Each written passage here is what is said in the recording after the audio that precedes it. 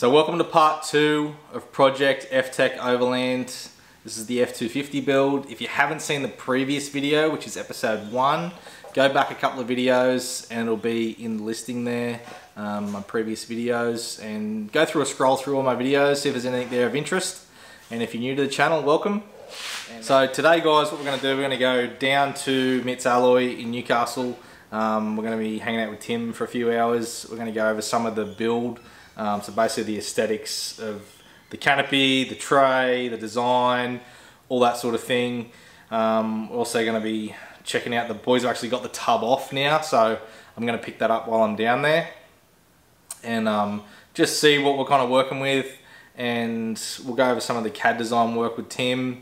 Um, we've also got to figure out the layout of inside the canopy, so he's going to be doing all that stuff today on the, on the CAD, um, and try and get something kind of nutted out so we can get this thing into production and um, start the process. So, which will be started, yeah, later today, hopefully. So, anyway, guys, we're gonna go for a drive down there now and um, go through everything with Tim.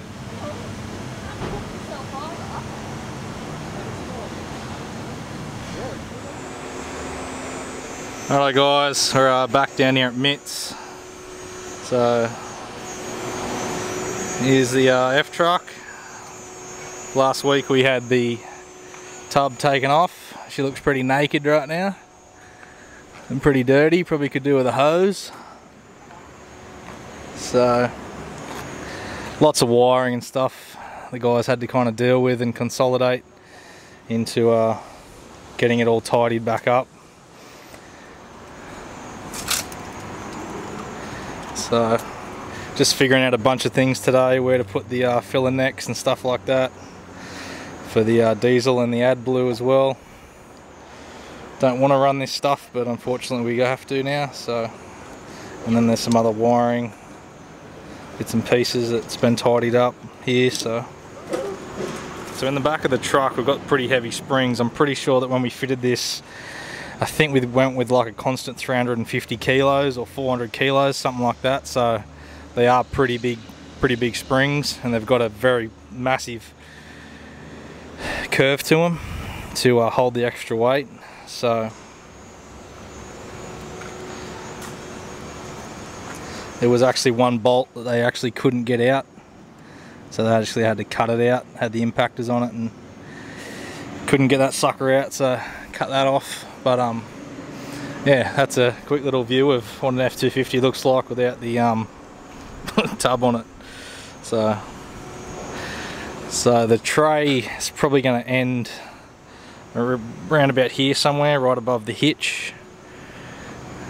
And um, yeah, so let's go inside and we'll go over with Tim a couple of design things here and there. And um, have a look at the CAD and stuff like that and what we've been drawing so far. So I've got my uh, spare tyres down here ready to go.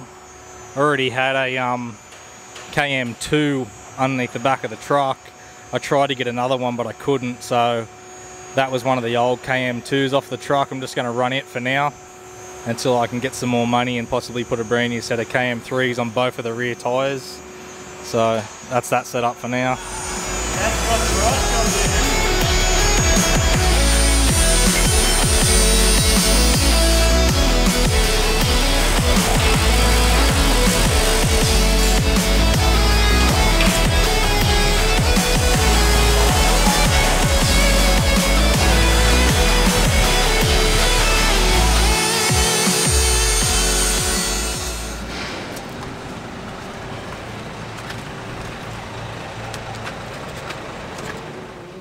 Okay, so I know the 130 doesn't fit. I already checked.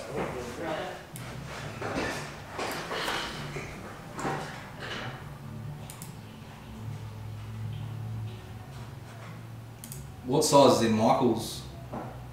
Your canopy's 60 mil shorter than Michael's. So, in height or Yeah, height.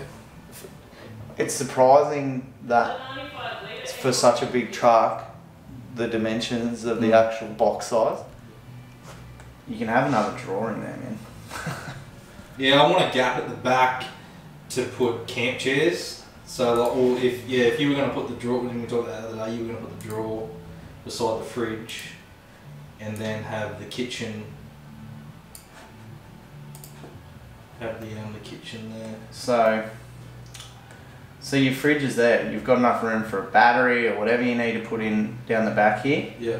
And then these drawers here, I'll make come out to the center because that's the center line. Yeah. So you'll have extra deep, long drawers.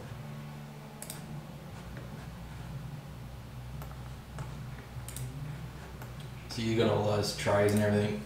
They're all just on file, ready to go. Oh, we're getting there. It's this is a real. It's been a big mission to there. Yep. That'd be perfect. Yeah. So it'll have draw, draw, draw, draw. Yep. Yep. And then here we'll have the kitchen setup. Ah, the the other fridge slide, Yep.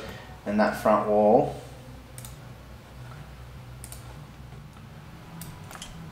That whole front wall there will be all your panel, so you'll end up with a heap of stuff. Yep. And then I think running off the top of your pan in here will make up that little tray for your Yep. shower cube. Yep. The fancy thing. And that's just basically on a.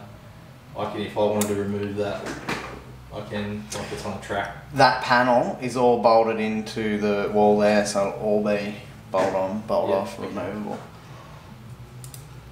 Because yeah, this is what our panel looks like. It might corrupt because we're making it bigger. See? Yep. So it'll just fit in there. Yep. But the legends at uh, TJM Hunter Valley will make that happen for you.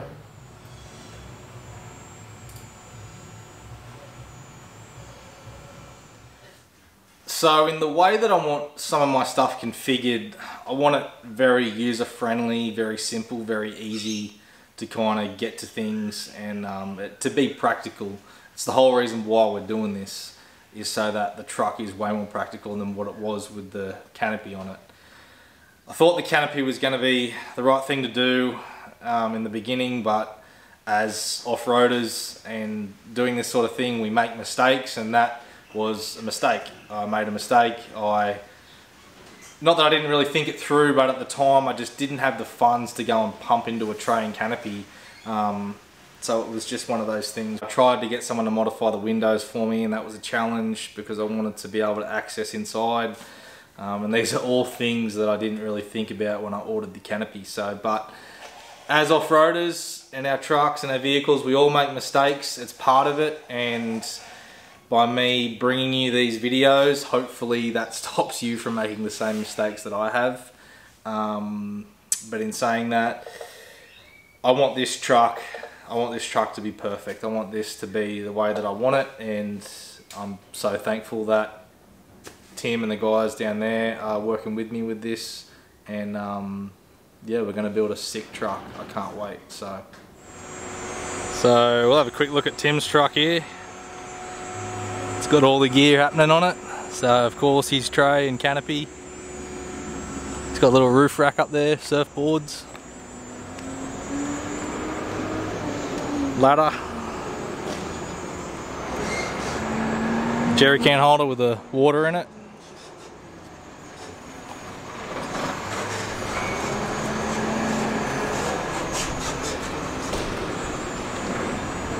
Tidy little Hilux.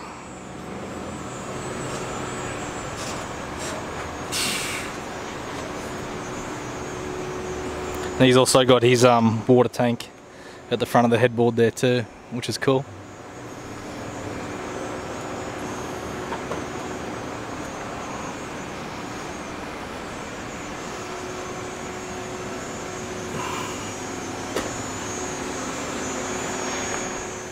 And it's it's it's really funny how your uh, not your not really your uh, desire for things, but more so what I used to think of trays and canopies. I hated them, hated them with a passion, and now like they've grown on me so much. It's unbelievable. Like just because of the the standard tray and canopy you used to see back in the day, it just yeah they're practical, but they just look like shit. To be honest, they just look like crap.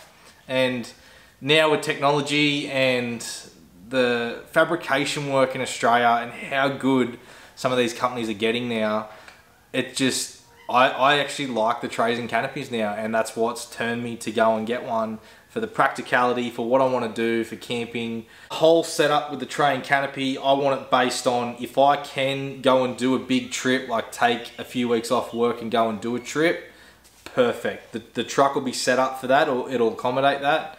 But also, it's going to be a lot of what we do, more so just like you would, small weekend trips away when you get the chance with the boys, with the family, things like that.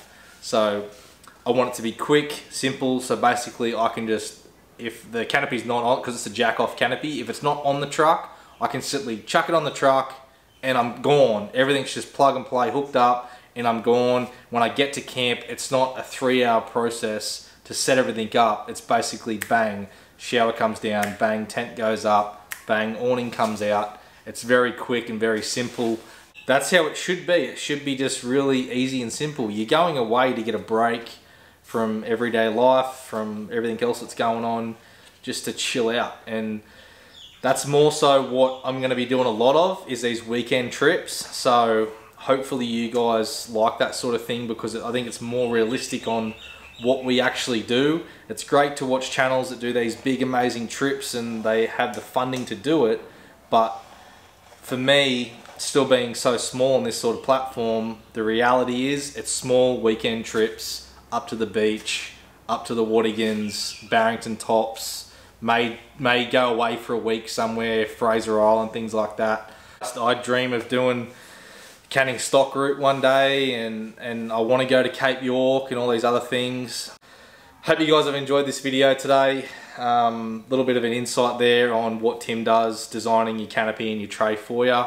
And yeah, I can't wait to see you guys in episode three, which will be coming up in the next couple of weeks. Once the tray's going on, things are getting bolted up, canopy goes on, and we've got paint and all the rest of it, and then power install at TJM. Hopefully we get that in before Christmas. We're pushing it. We're trying to meet a deadline. So, see what happens. Anyway guys, hope you have a fantastic day and I'll uh, catch you in the next one. See yous.